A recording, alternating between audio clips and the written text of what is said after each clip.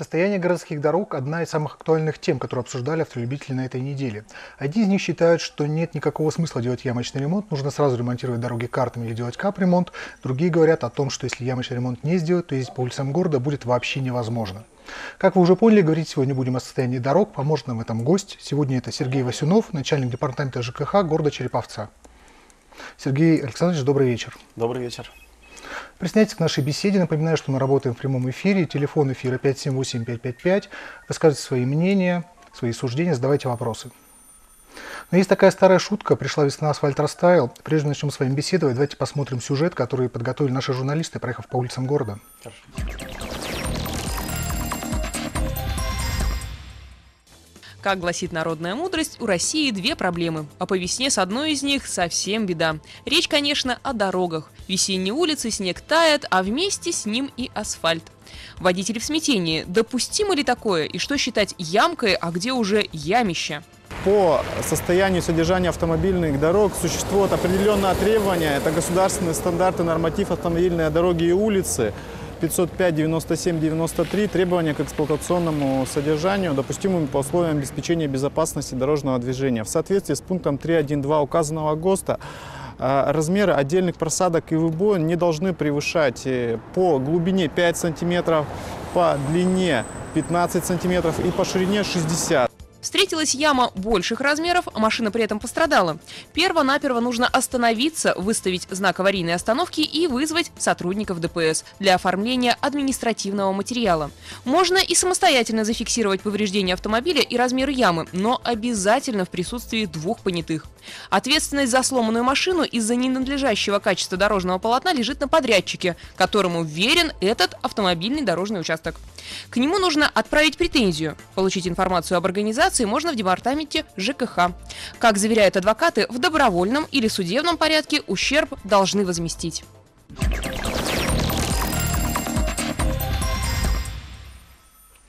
Ну, вот такой сюжет. Э, Сергей Анатольевич, вот смотрите, а, на некоторых улицах нашего города асфальт положили всего полгода назад.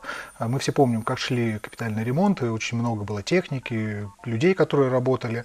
На самом деле было сделано достаточно много, но прошло всего полгода, и на большинстве этих улиц э, ямы снова появились. Вот в чем проблема? Вы действительно правы. В прошлом году год был очень серьезный. Э, то, что касается ремонта асфальтового покрытия, порядка 10 улиц, плюс долгосрочные работы – но я бы не сказал, что все улицы, э, дороги, которые у нас ремонтировались, они соответствующим образом рассыпались. Есть небольшие замечания, эти замечания фиксируются в департаменте ЖКХ, потому что сроки, гарантийные сроки по этим обязательствам, они у нас э, четко прописаны в контрактах. Тем более подрядные организации, которые выполняли эти объемы работ, они тоже у нас в городе, они свои организации, мы их знаем.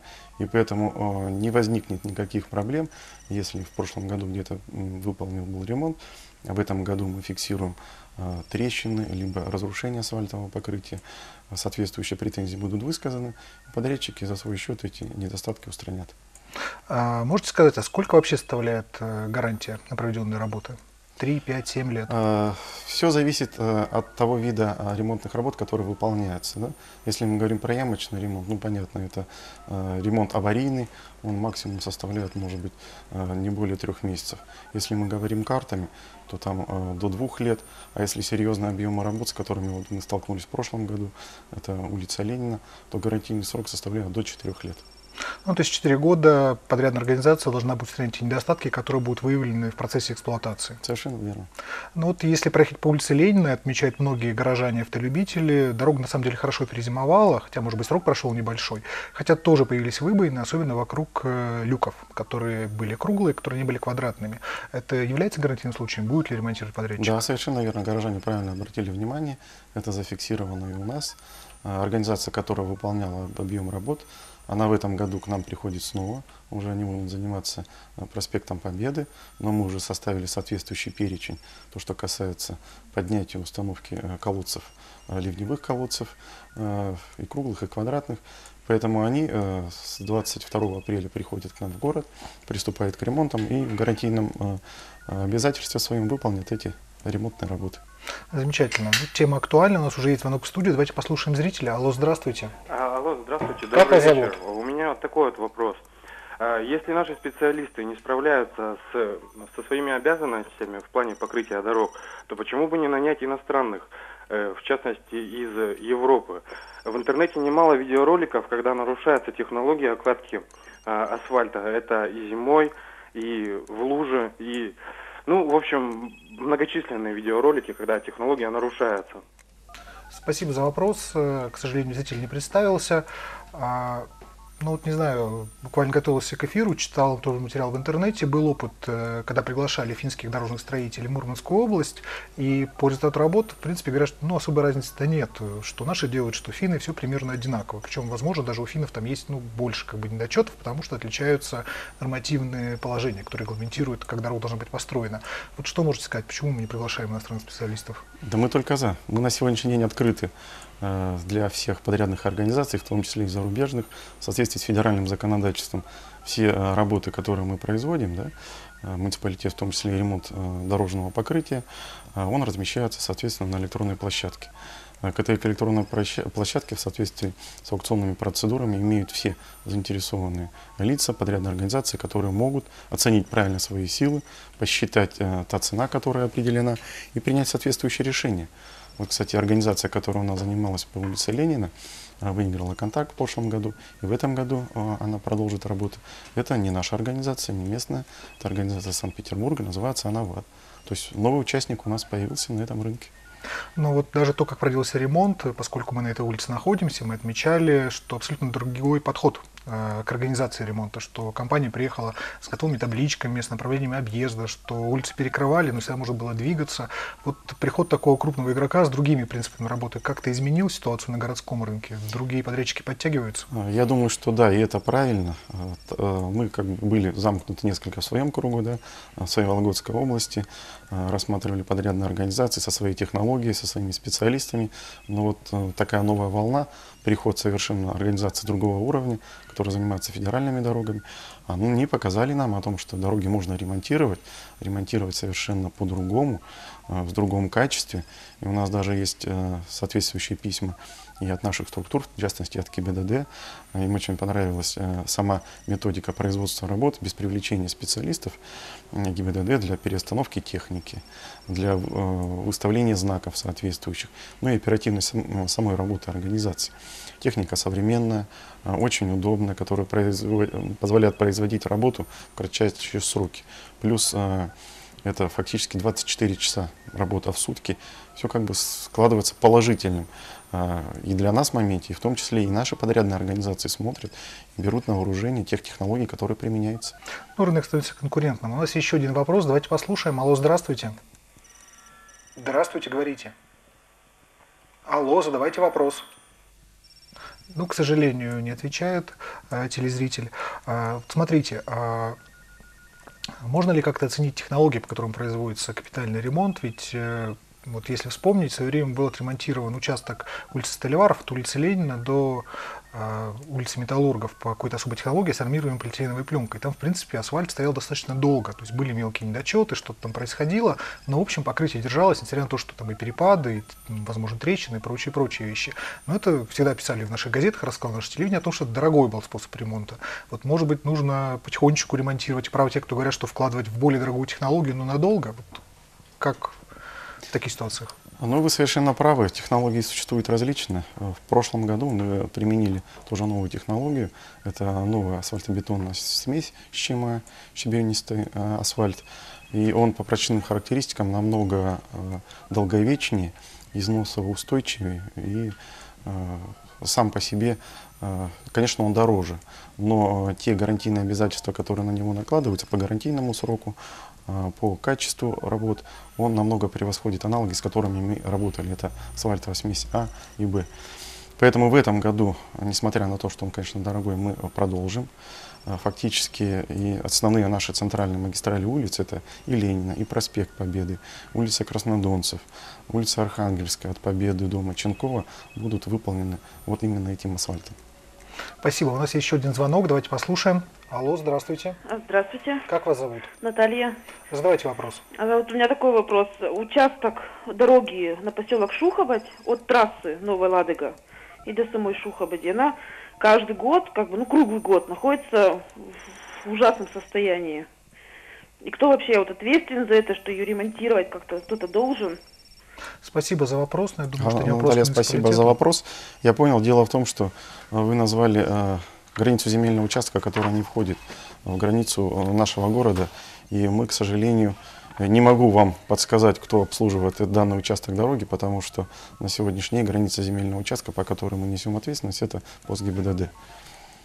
Ну, я думаю, вопрос запишем, постараемся передать тем людям, которые могут на него ответить. И думаю, что ответ все равно последует. А, Вот с 1 апреля ямочный ремонт э, дорог идет, но вот ощущение надежности остается. Заплатки выглядят как-то странно, и практически в некоторых местах через два дня асфальт разбивается снова. А, Все уже заметили, что работает новая пневмомашина на улицах города, причем достаточно интересная ситуация, когда один человек управляет этим шлангом, 8 стоят смотрят, видимо, технологию перенимает. Вот это что-то изменит в нашем городе? Можно будет быстрее заделывать ямы? Как ситуация обстоит? Ну, вы, наверное, э, э, говорите, когда 8 человек смотрят, это когда э, специалисты всех служб как раз наблюдали за процессом работы Ну, может быть. этого автомобиля. А на самом деле технология современная. И то, что она применяется сегодня у нас в городе, это большой плюс. Хотелось бы, чтобы она, конечно, была несколько раньше, но городской бюджет, к сожалению, не смог выделить в свое время денег. И сейчас очень даже положительно то, что деньги появились, и мы такую технику приобрели. В идеальном состоянии хотелось бы, чтобы таких машин было минимум три в городе, в каждом районе города. И э, когда мы производили соответствующий анализ, э, вот эта работа трех специалистов, один сидит за рулем, и двое фактически э, обрабатывают яму, устраняют, она намного эффективнее, современнее и э, дешевле, несмотря на то, что машина дороже. Когда происходит обыкновенное фрезерование, заделка, вы представьте, значит, работает фреза, работает трамбовка, работает машина, которая привозит асфальт. Вот там действительно 5-6 человек, которые всем этим занимаются. И в данном случае производительность она намного дольше. А, В данном случае, конечно, мы пока от такого вида ямочного ремонта не отказались, потому что машина только одна. И поэтому применяется на сегодняшний день как э, машина с пневмобрызгом, так и ямочный ремонт по старой нашей технологии, методом фрезерования. Ну, фактически ямочный ремонт – это промежуточная мера до тех пор, пока не будет осуществлен какой-то более ремонт э, картами или капитальный ремонт улицы. Да, вы совершенно правы. Где-то порядка 20-25% а, от ремонта дорожного покрытия у нас уходит на ремонт, вот именно ямочный ремонт. Потому что без ямочного ремонта, к сожалению, м, как бы ни говорили стороны за или против, нам не обойтись. Потому что ямочный ремонт мы выполняем не только вот сейчас, в этот период, но в том числе и зимой когда образуются ямы, и нам необходимо их для того, чтобы была безопасность прохождения транспортного потока, э, автомобили не ломались, люди не нервничали, была обеспечена соответствующая безопасность. Ямочный ремонт в любом случае нам необходим, даже вот на этот межсезонный э, период, скажем, зимы, весны до лета. Хорошо, у нас есть еще один звонок в студию. Давайте попробуем послушать нашего зрителя. Алло, здравствуйте. Здравствуйте. Как вас зовут? Елена Андреевна, Задавайте вопрос. скажите, пожалуйста, мы уже не первый год жители улицы Гагарина, 18, Металлургов, э, 45, добиваемся ремонта нашего двора. Но и хотелось бы вот задать вопрос, по какому принципу выбираете вы ремонт дворов, чтобы правильно вот попасть в эту программу? По той причине, что руководители ЖКХ «Металлург» нам говорят, что мы, как обычно, сюда не попадаем. Спасибо за вопрос. А, Ну, на самом деле, городские дороги это не только автомагистрали, но и тротуары, и дворовые территории. Вот ситуация с ремонтом дворов. Что здесь можно сделать? Куда обращаться? Ну, я бы хотел э, сразу нашей, э, нашему заявителю сказать о том, что в прошлом году э, городу было выделено порядка 57 миллионов рублей, э, но заявок поступило фактически в два, э, в два раза больше, на 100 миллионов рублей. И комиссия соответствующим образом анализирует из- заявки, проезжая по дворовым территориям. Из худших выбрали самые худшие. Поверьте, те деньги, которые были потрачены на ремонт дворовых территорий, они действительно этого стоят. Там не только менялось асфальтовое покрытие, но и менялся бордюрный камень, делались входы в подъезд. Э, По этому году э, будут выделены деньги или нет, пока мы точно не знаем. Но я рекомендую все-таки, несмотря на это, все равно э, оформить соответствующим образом заявку. Заявку, как оформление заявки можно, можно узнать на сайте cherinfo.ru, либо непосредственно в департаменте ЖКХ, пройти всю процедуру и э, скажем, ждать, когда нам будут выделены деньги из областного фонда, может быть, из федерального. И вполне может быть, ваша заявка с учетом того, что вы говорите, попадет в этом году в ремонт дворовых территорий. то есть на самом деле нужно всего лишь правильно заполнить заявку и надеяться, что все Да, заявка состоит она не просто от заявления, нужно обязательно провести общее собрание собственников многоквартирного дома, где они должны принять решение. Должно быть архитектурно-планировочное решение, должна быть смета. То есть э, определенный пакет документов, набор, для которого заявка, ну, за- мы ее называем заявка, ну вот в, в купе вот такой пакет документов. Хорошо, у нас есть еще один звонок, вот тем тротуаров актуально. Алло, здравствуйте. Здравствуйте. Как вас зовут? Меня зовут Николай. У меня такой вопрос. Вот тротуарами кто у нас занимается? Вот ремонтом тротуаров. А то вот улица Ленина, ну невозможно ходить, как будто после бомбежки. Яма на яме. Спасибо большое. Вот действительно с тротуарами. Так кто их ремонтирует, кому обращаться? К сожалению, действительно, заявитель прав. Мы в последние э, два года фактически не занимались тротуарами. Основные деньги вкладывали в основном в проезжую часть. И вот то, что улицы мы перечисляли, это большие деньги. В этом году у нас э, на эту статью выделено порядка 6 миллионов рублей. И мы сейчас будем составлять программу э, ремонта тротуаров. И, скажем, наши программы, они формируются как раз вот на основании обращений граждан, плюс инвентаризация объектов, когда наши специалисты выезжают. Поэтому эта программа у нас ориентировочно должна быть составлена до э, конца апреля месяца. И мы э, после апреля месяца проводим аукционные процедуры и фактически уже в конце мая должны приступить к выполнению э, ремонтных работ, в том числе и по тротуарам. У нас остается немножко времени. Можем ли мы еще раз для зрителей проговорить, какие крупные ремонты будут в этом году проходить, чего ждать, к чему готовиться, на что надеяться? Да, в этом году у нас продолжатся очень серьезные крупные ремонты. Мы э, заканчиваем проспект э, Победы от улицы Олимпийской до улицы Столиваров. То, что сегодня сделано, это сделан выравнивающий слой. Там э, будут обе полосы по четной и по нечетной стороне покрыты асфальтом марки Щема. Мы закончим в этом году улицу Краснодонцев от улицы до Гоголя до улицы Олимпийской. Мы закончим работы по улице Архангельской от проспекта Победы до улицы Моченкова. И у нас порядка еще 60 миллионов рублей остается на ремонт картами. Ремонт картами тоже сейчас составляется программа. Она несколько отличается от того, что было две недели назад, потому что ситуация по погодным условиям она отличается. И на сегодняшний день все больше и больше появляется э, серьезных участков дорог, которые ямочному ремонту не подлежат, нужно перекрывать. Поэтому э, сама информация вот по картам, она будет доведена до жителей нашего города где-то в конце апреля месяца. Когда уже аукционные процедуры состоятся, подрядчик будет выбран, э, выйдут и приступят к работам, мы эту информацию обязательно разместим. Спасибо. Достаточно грандиозные планы, и я надеюсь, что все они будут реализованы, и дороги в городе будут становиться все лучше и лучше. Ну а нашим автомобилистам остается только терпеть и ждать, когда закончится непогода, когда начнутся снова ремонты. Ну и хочется обратиться, не совершать опасных маневров, потому что, пытаясь объехать яму, очень часто сейчас люди создают аварийные ситуации. Будьте внимательны на дорогах. Спасибо большое. Обсуждали мы сегодня ремонты на городских дорогах. Напоминаю, что у нас в гостях сегодня был Сергей Васюнов, начальник департамента ЖКХ Череповца. Сергей Александрович, спасибо за беседу. Вам спасибо за приглашение. Это была программа «Точка зрения». В студии работал Михаил Фоменко. Всего хорошего, до свидания. Увидимся в следующий понедельник в 19.40 на телеканале «Провинция».